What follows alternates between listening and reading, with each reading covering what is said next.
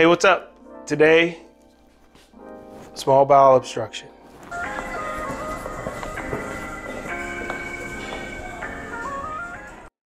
Small bowel obstruction, a lot of information. It is not a complex topic, but it's a lot of personal management. So we're kind of going to start this one a little different. We're going to start with a case presentation, walk you through what I would do in that situation, and then kind of cover everything, and you'll see why something is important versus why something is not. So, 54 year old male walks into the hospital throwing up for three or four days, has not passed gas or had a bowel movement. The last time he remembers eating something was three or four days ago and just hasn't felt like eating. He does not have a fever. The ER physician orders a CT scan and it shows an ileus versus small bowel obstruction. So they're calling me at 3 a.m. asking me what to do. That actually is very common. The only difference I would say is that sometimes it seems to be more women than men, but we'll go with a man this time. So I go talk to the patient and ask him many other questions. The most important question to ask is Are you having fever? Second question is Have you ever had surgery before? The main reason you're looking for a fever is because that turns it from a surgical issue to maybe a surgical urgency, or it changes it from a surgical urgency to a surgical emergency, depending on what kind of symptoms they have otherwise. No fever, you keep it moving. The next step is going to be whether or not they've had previous surgery. We know that if someone has had maybe a previous cholecystectomy or a previous sleeve gastrectomy, like I did today, they're going to have less adhesions. But if they've had a gunshot wound to the abdomen and exploratory laparotomy, like I did today, they're going to have a lot of adhesions. So those patients are more likely to have an obstruction. So talk to them, previous history, gunshot wound to the abdomen, exploratory laparotomy. Now I'm thinking that this patient is more likely to have a small bowel obstruction than ileus, okay? Really the only difference between a small bowel obstruction and an ileus is an ileus is a chemical reason or maybe your potassium's low or you have gastroenteritis. Something is just slowing the system down so it's not working. Patients sometimes present um, with DKA and they have an ileus. Their bowels just stop working. If you have gastroenteritis, your bowels start work, stop working. But once you resolve the initial problem, like food poisoning or a little GI bug, your bowels start working again. And a lot of those patients suffer from diarrhea versus patients with small bowel obstructions don't have any bowel movements at all. So the next question I usually ask this patient is when's the last time you passed gas or when's the last time you had a bowel movement? If they passed gas, had bowel movement or diarrhea, then I know we're more likely dealing with an ileus. But if they haven't done any of that, then I'm saying, okay, this may be a small bowel obstruction.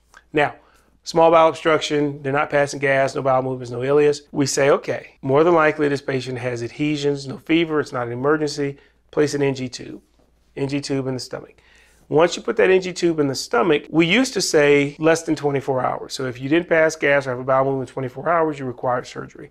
That's been stretched out now to about five days.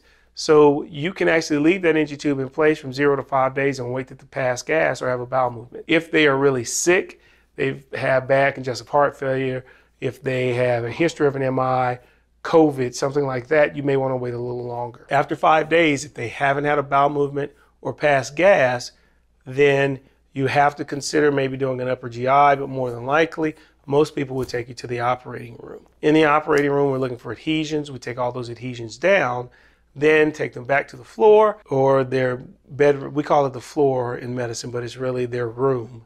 And then wait for them to pass gas, leave the NG tube in place, remove the NG tube when they start passing gas or have a bowel movement, give them clear liquids, and then they can go home. An ileus also develops after surgery. So we expect these patients to have a day or two of their intestines not working before they have a bowel movement. Clinically, we always say that the small bowel is the first thing to start working. The stomach is usually the second thing, and then the colon is usually the third. Sometimes it depends on what's going on. The colon is second, and the stomach is third. The air that you're passing is not air from food in your stomach, it is swallowed air. So if someone passes gas, you can say, hey, we know the tract is working from top to bottom. That's kind of a, uh, poor man's upper GI, asking them if they pass gas. If you ever have any questions and you don't want to do surgery, we then sometimes will do an upper GI with a small bowel follow through to see if there's a block. That's pretty much it. But we're gonna go over this stuff real quick because Christine spent all this time writing it. Now, small bowel obstruction, interruption of normal bowel flow. Stuff is supposed to go from your stomach, your esophagus, mouth, esophagus, stomach, small intestine, large intestine, rectum, toilet. It can be functional, which is an ileus, which you talked about, versus mechanical small bowel obstruction, usually due to adhesions.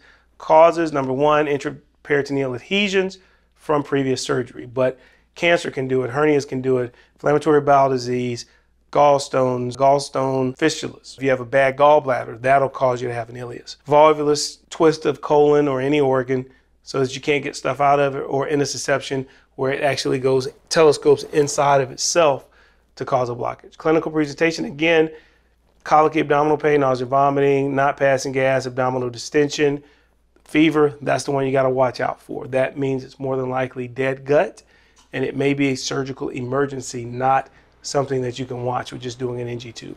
Also, hypotension, low blood pressure is another thing you need to watch out for. Now, as far as risk, prior surgery, again, all this stuff we talked about, foreign bodies can even block it, believe it or not. You can either go up the bottom or you can swallow it and cause a blockage. If you have little kids, do not keep little magnets at your house. If they swallow one magnet, we're good. They'll pass it. If you swallow two magnets, they can stick together cause a small bowel obstruction, and then you have to do surgery. That's also true for dogs, so don't do it. Any kind of intestinal inflammation can cause adhesions. About 5 to 10% of the population are born with adhesions, but there is a significant number of people that get hit by a door, get in a fight when they're young, real bad football injury, hit to the abdomen, stuff happens, and then they'll present with a small bowel obstruction later on in life we'll go in there and they'll have an adhesion pretty much right where they say they got hit. It's pretty cool. As far as diagnosis, again, usually it used to be upright, supine x-rays of the abdomen. Pretty much now, if you go to the emergency room, you're getting a CT scan of the abdomen and pelvis.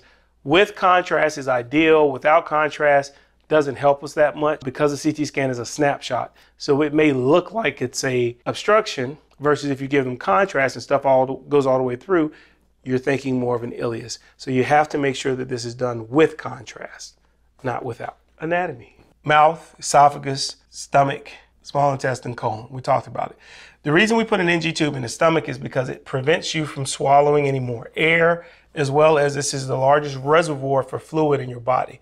Your esophagus makes about a liter a day, your stomach makes about a liter a day, your colon makes about, I mean, your small intestine makes about a liter to two liters a day of fluid. Your body recycles it, but if there's a blockage, all of that can back up. If we don't suck it out of the stomach, that fluid can come out your mouth, go into your lungs, and you aspirate. So that's one reason that we put an NG tube in when you have a small bowel obstruction. The other reason is it decompresses the stomach and any other fluid that's backed up. So it allows your stomach or your intestines to reset. Once they reset, everything starts working and then you're good to go. One little small thing for medical students don't clamp an NG tube. When you think someone's passing gas or you're ready to remove it, do not clamp it. You place it the bedside bag. If you clamp an NG tube, their body, their body will accumulate fluid if they're not ready, fill up the stomach, and all you're doing is stenting the GE junction so that that fluid can come up and go in their lungs. If you hook it to bedside bag, which is essentially means taking the catheter off, taking the canister off, putting it on the bed, or hooking it up to a Foley catheter, that allows that fluid to siphon off into the bag if it gets bloated. Now, management small bowel obstruction. Again, IV fluids to make sure they're hydrated, no food, because if you start giving them ice chips at the same time, that changes the amount of NG tube output. Sometimes if you're putting out 200 every eight hours or 300 a shift, that's not a lot. But if they're putting out 600 a shift or 600 every 12 hours, you more than likely are not going to remove that NG tube. It's hard to say if 300 of that is ice chips and 300 is NG content. So that's why we pretty much say NPO and the NG tube. Talked about that. Now, non-operative water soluble contrast that sometimes will help if you have something you're trying to push through. We don't do that that often unless we're trying to avoid surgery. If you do serial abdominal exams, serial x-rays if you're worried about them, after a day or two with an NG tube and they don't pass gas. Most people about day one, day two will pass gas and feel better. That's when you pretty much know that you're out of the window. But once you get to that day five, you start worrying about it. If you're at day five, that's when you got to start considering surgery for two reasons. One, if they haven't eaten by day five, then you know there's a real problem that's not being resolved with NG tube. Now, it could be your NG tube's in the wrong place, could be your NG tube is clogged, but you have to reassess. The other reason is they haven't eaten in five days. That's our spot for ketosis. So at five days, we start saying, hey, this patient may not have enough nutrition, so we got to start doing something else. Now, if they have non adhesive small bowel obstruction, you just treat the problem. So if their potassium's low, treat it. If they have Crohn's disease or inflammatory bowel disease, you you just treat that. So steroids, flagyl, whatever you need. If there's an infection, you treat that. Again, a CT scan is nice because you can get an ileus with a early appendicitis. So that CAT scan rules out some of the infectious causes. Now you can also get an ileus with pseudomembranous colitis, although those patients have diarrhea. But colitis patients can also have a ileus component that you also need to treat medically and not do surgery. Craziest thing I've ever not done was I had a patient that the ER called me said this patient has a massive small bowel obstruction and an early appendicitis. They haven't passed gas in three days. We need you to take them to the operating room. And I said, okay, let me get a urinalysis just to make sure it's not a kidney stone or something like that. You don't need a urinalysis. Patient needs to go now. He's really sick. I said, okay, cool. We'll take him upstairs. Still wait for the UA. took about an hour. They didn't send it in the emergency room. Anesthesia was ready to go back. They said, hey, let's take this guy back. He's sick. It's like, that's fine. waiting on my UA. They were like, we don't need to wait. I'm like, no, I need to wait. Turns out he had pyelonephritis. So he had a very bad urinary tract infection and he had so much inflammation in his kidneys that it was causing inflammation in his right lower quadrant and was giving him an ileus. So always stick to your guns sometimes. Now, if you are going to take this patient to the operating room, there are a couple reasons to do it. One, we talked about fevers, hypotension over here, ischemia, necrosis, perforation. That has always been an indication for surgery. As crazy as it sounds, it's now ischemia, necrosis, and maybe perforation. The weird part about it is if someone has diverticulitis, and we'll get into that later, as perforated colon. We don't take those patients to the operating room. We treat them with antibiotics, let them cool down, and bring them to the operating room later. If someone has an ileus or a small bowel obstruction because of a perforated appendix, we treat those. If they have a perforated esophagus and it is a contained perforation, we treat those medically first and then operate on them if necessary at a later date. So perforation used to be an absolute. Now, because of laparoscopic surgery and CT scans, we probably have gotten rid of perforation, sort of. So a lot of patients don't go to the operating room straight because of a perforation. Even gastric ulcers, if they're contained perforation, they have free air. We just make sure it's contained, uh, Protonix, and don't operate them. And those patients will have an ileus that will slowly resolve. The one thing that is always true is if somebody's getting worse and they have a partially surgical problem, they need surgery immediately. So if someone, no matter what you're doing here, if they start getting worse, then you got to go to the operating room. Laparoscopic versus open management of adhesions is kind of different. 85% of the time, if you take someone to the operating room with a huge incision over their abdomen, you can complete your goal by doing it laparoscopically. Again, let me say that one more time. 85% of the time, most operations can be done laparoscopically. You don't need an open incision. The other nice part about laparoscopy versus an open incision is with laparoscopy, I can stick a camera in, look around, see what the problem is, and then say, okay, I can manage this non-operatively and don't do anything, and that patient has a five millimeter or 10 millimeter incision. With an open procedure, you basically open their abdomen. So nine times out of 10, you're not gonna close them back up in case you have to come back. So you're more likely to fix a problem that may or may not need surgery because you don't want to do a repeat exploratory laparotomy. Now, when we start talking about, okay, adhesions go in and cut the adhesion, sometimes that's all it is, one adhesion and that's it. If you have multiple adhesions with laparoscopy, we will lyse the adhesions that are at the transition point. That's where it's a blockage and then it's normal downstream. And then that's it. With exploratory laparotomy, if they have extra adhesions, sometimes you have to take all of them down so you don't come back. The other tricky part is that laparoscopy, if you do a laparoscopic surgery on someone, your chance of causing adhesions, because remember they had a surgery that caused adhesions in the first place, is probably about 10%. It's not like adhesions everywhere. It's usually one or two single bands that you can cut that's causing an obstruction. With an open procedure, you're more likely to cause adhesions during that procedure. So an open procedure will cause another problem downstream versus a laparoscopic procedure, procedure is less likely.